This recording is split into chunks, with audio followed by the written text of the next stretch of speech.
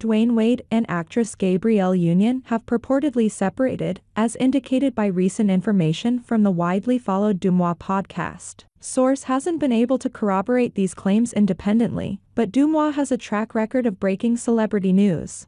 On the flip side, Source has observed that Gabrielle Union has refrained from sharing images of her spouse and his children for more than a month now. Her recent posts have exclusively featured herself and her daughter Kaavia.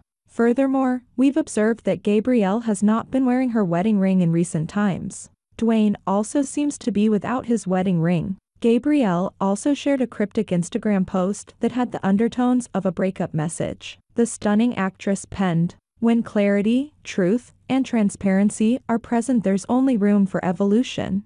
Now, regarding the rumors.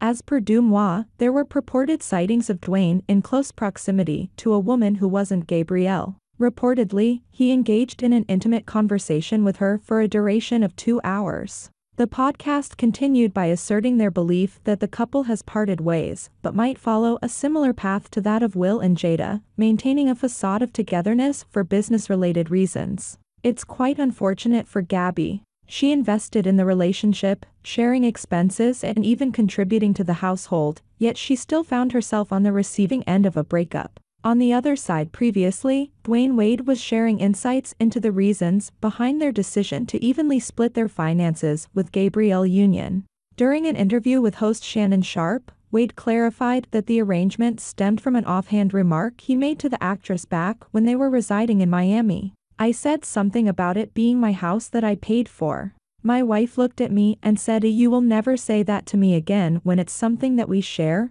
Wade told Sharpe. So when we moved to Los Angeles, my wife said, I got half on it. You will never say my house again. You can say that in the arena. What are your thoughts? Like, share, and subscribe, and thanks for watching.